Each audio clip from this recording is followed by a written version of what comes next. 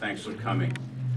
We have the minutes that were emailed to you of our regular meeting of January the 15th, 2013. I'm sure you've had an opportunity to peruse those meeting, those minutes.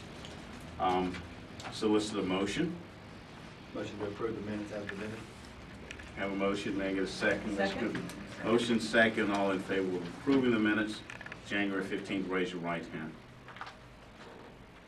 Thank you. Financial